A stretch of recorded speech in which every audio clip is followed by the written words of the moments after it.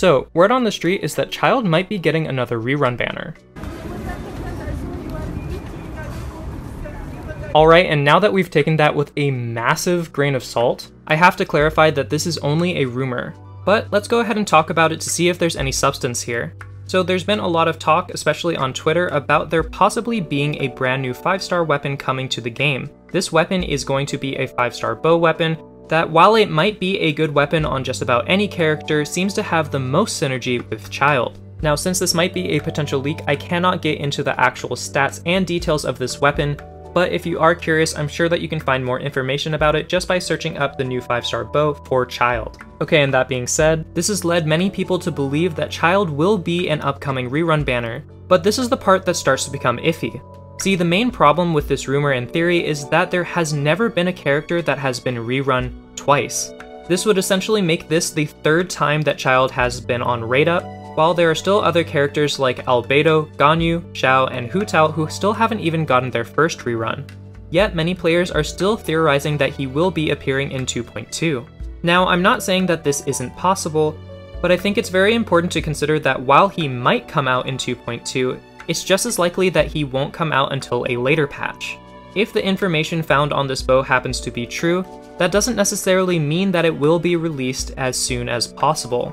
So essentially what I'm getting at is that if you are a new player that still wants Childe, then you might be able to get him soon, but you could just as likely be getting him in a few months. My personal recommendation is to not necessarily let these rumors stop you from summoning for who you want to summon for now. But if you want to err on the side of caution, make sure that you wait until the end of 2.1 so that you can see the 2.2 livestream to see if this rumor has any validity or not.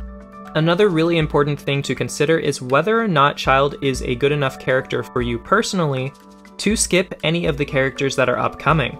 Childe is a pretty excellent sub DPS slash main DPS character, however he does come with a lot of caveats considering how his skill works. While his skill can last up to a whopping 30 seconds, if you do use it for its entire duration, you're actually not going to be able to get your skill back up anytime soon. This means if you do not have him C6 where he can essentially stay on his skill at all times, then you're going to have to like a quick swap style. I've known many players who ended up summoning for him but didn't actually like his gameplay after a while. However, after the discovery of pairing him up with Xiangling and Bennett, he is skyrocketed back up to an S rank character from an A rank character due to his constant Hydro application. But at the end of the day, it's going to come down to your personal preferences and how much you like the character. From my personal experience, Childe is an excellent character, however, he is far more favored by whales due to that Constellation 6. He is still completely viable at C0, it's just a little bit harder to use. So I wanted to quickly give you guys some heads up just in case you're planning on summoning for Childe sometime in the future. Remember, at the end of the day, this is a PvE game, so just pick who you want to play and who you enjoy playing the most. Alright guys, that's all for today's video. If you did enjoy it, please feel free to let me know down in the comments below and let me know whether you think Childe is coming soon or in a later patch. Also, if you want to see more Genshin Impact content from me, feel free to hit that subscribe button.